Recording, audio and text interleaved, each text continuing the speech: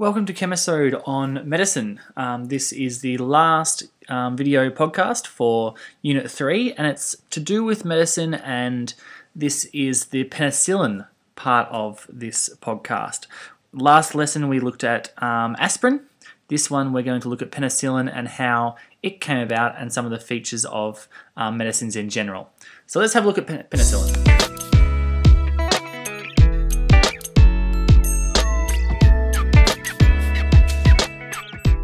Going to talk quickly about how penicillin was found. Um, it's a story that um, some of you might know. Uh, it's to do with a guy called, I think it's Alexander Fleming. Um, he was a scientist. He was looking at bacterial growth um, and trying to grow different um, bacterias. And he had a whole bunch of agar plates that he was growing this bacteria called, um, I think it was Staphylococcus. I think that was the bacteria he was trying to grow. The reason he was trying to look at that is because it's a it's a bad disease. Uh, a bacteria that causes disease um, and infections. One day, or um, he was on holidays for a couple of weeks, and he came back to his lab and he was about to throw out all these um, agar plates that had been just been growing while he was on holidays. What he did before he threw them out was he um, called his assistant over and said, "Oh, I just want to show you what these um, plates look like, what these bacterial plates look like. And he got some of them out and he showed them, and what he noticed was there was this white mold growing on the the bacteria plates as well. So obviously there was an area where he expected um, bacteria, but there was also this random white mold. So he was showing his um, lab assistant that, and he then this is quite interesting actually, um, because what's happened around the white mold is there is a ring where this other bacteria is not growing. So this um, Staphylococcus bacteria is growing where I've put it. However, when this white mold comes around, around this white mold is not growing there at all. So what um, Mr. Fleming looked at and thought about or hypothesized is that I'm not going to throw these out because it looks like something in this white mold is producing something that's killing this other bacteria around here. So what we look at, what, what happens, he um, started to analyze this bacteria that started growing there by chance and trying to work out what the chemical was or what the molecule was that was stopping the growth of this other bacteria that um, was that could cause infections. So what he found out is that there was a molecule that was there and he called that molecule penicillin. So, and penicillin he found out um, when he called it penicillin, this molecule, it could kill the bacteria Staphylococcus, which was causing a lot of bad infections in other people. The found that it wasn't just one type of molecule, it was actually a few types of molecules, but they all had a general structure. If you look at these two here, these are two types of penicillin. Okay, if I cut it at this area here, just after this um, carbon to oxygen double bond, you'll notice that everything on this side is exactly the same. So what he saw was those molecules, what they're um, different molecules, even though they have this, the same region, they'll do similar effects. They'll have similar effects on the body. So the idea with medicines is that similar structured molecules do similar things. What you have is the idea of a core molecule, a core area. So this R group here could mean anything else at all. But what the um, thing that actually does do the job is this core molecule here. Okay, so we have the idea of medicines. If you have a medicine or a molecule that looks similar to other things, we can actually say that, yep, it will probably react or behave that way in the body in a certain way. Um, what this kind of leads on to is the idea of the this side chain from a core molecule. Now, this important um, idea of this side chain here is that it allows us to change how bacteria sees our molecule. It can disguise our molecule in certain ways. So what we have is the importance of continued research means that as we, we don't just stop with uh, one molecule that does what it's supposed to, what can happen if we don't, if we stop researching and just keep on using the one same um, compound, is that bacteria can build up a resistance to that compound. They can realize that, yep, that thing is going to kill me, and they can genetically modify themselves to build up a resistance to that. What we do in terms of research and what we try and do to prevent the bacterial resistance is we change the side group off our normal molecule. So the two types of penicillin here that I've got obviously have been changed to, um, well, basically reduce the bacterial resistance for it. Another reason you might change the side chain here is to do with the side effects that a drug has. Um, there's other families of drugs that um, you might know of, like your opiates, that is your codeine, your morphine, and heroin. All of these drugs have the same general structure, but they have slight differences in the um, functional groups that are coming off that general structure.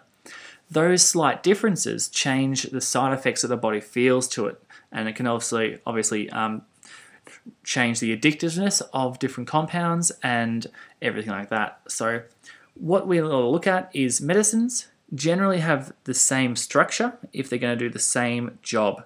What we can change is the side chains, and that will change how we, or different bodies, react to different things. Um, in terms of penicillin, um, some people are allergic to penicillin. They can't have it due to their bodies um, giving an allergic reaction to it.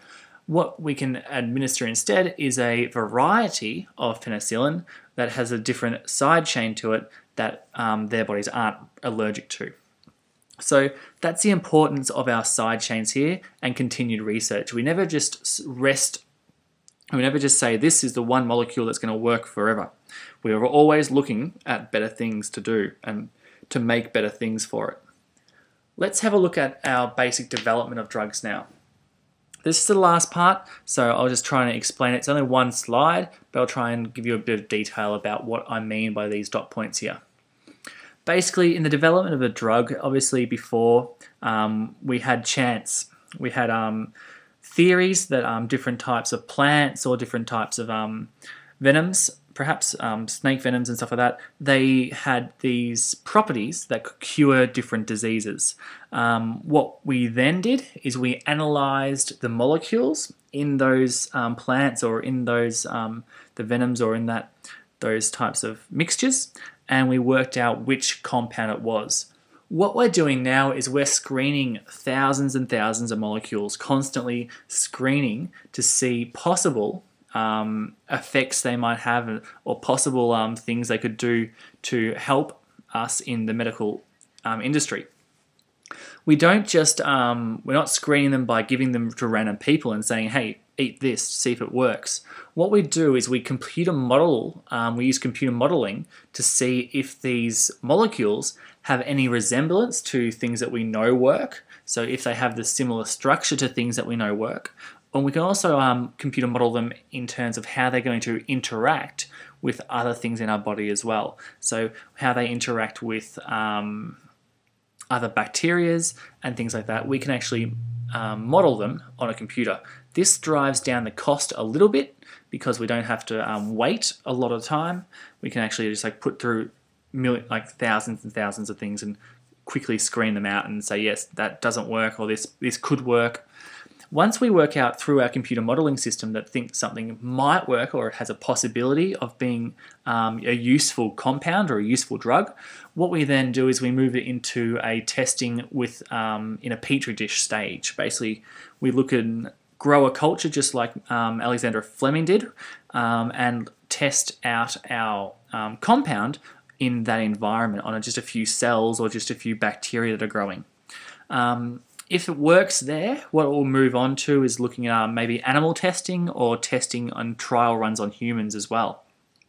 So what we would look at is with that, obviously we've got pressure of animal rights. Obviously, um, animal rights and basic ethics comes into play with that as well. So in the development of drugs, even though we um, first of all start off with computer modeling, there is going to be a stage where we need to test out the drugs to make sure they work. And obviously, that's going to have um, a big play in, um, well, animal rights and different types of ethics and morals come into play, and um, religious beliefs and stuff like that will come into play in terms of the development of a drug. In the de- medicine development and the pharmaceutical industry, we have a, a very high cost um, of developing new medicines. Obviously, um, there's a lot of things screening thousands of molecules. Obviously, you're going to screen tens of thousands, hundreds of thousands of things before you work out something that might work. So that's going to have a lot of cost going through all this and research development way. Um, the high cost can also be part of the lab research to do with it. Um, but once you have your high cost, once you've you've put in the money and you've developed a drug and you've worked out that it works really well, you generally have a very high return if you get a drug that is in demand or can do something that no one else's drug can. So you can actually patent a certain molecule that you've developed. So certain drugs have a patent on them, and basically, the um, anytime someone else wants to make that, they have to pay to use your patent. So patent law comes into the development of um, medicine as well. So I've kind of gone a bit of a tangent in speaking about these, but that's generally things that are um, come into effect when you're developing new drugs, where you have a large amount of cost, but in the end, if you get that one drug that no one else can make, obviously you can get a high return. So if you make something that's going to cure cancer, obviously you would patent that drug um, and you would say, right, if anyone wants to buy this drug that's going to cure cancer, um, you have to buy it off me and you can't buy it off anyone else. And you have a patent for that. So the law comes into it um, a lot as well. So that's the development of medicines. Um, that is the end of Unit 3 now as well. Um, I've gone through the majority of areas of Unit 3. Um, obviously, some of them are audio podcasts. Um, most of the, the, the, final ones, like um, going through your organic reactions and um, DNA and biomolecules, that's gone into a, a video style like I've done with this. And I'll soon get on to making Unit 4 ones as well. So um, I'll try and get most of Unit 4 done, hopefully, um, over the holidays, at least the first part of Unit 4. So I'll have a lot of these done by then. Um, yeah, if you have any questions and comments, please um, join the Edmodo group for this for Unit 3 and we can discuss that. I'll put on a few extra questions. We have question of the day on the Edmodo group that you can answer um, and everything like that. All the notes can be found from Edmodo, and you can find the um, Chemisode app on the Apple iTunes store as well. That is the end of Unit 3. I hope you did, you've enjoyed it, and good luck with your exams, and happy studying, and all the rest of that. So take it easy, and see you in Unit 4.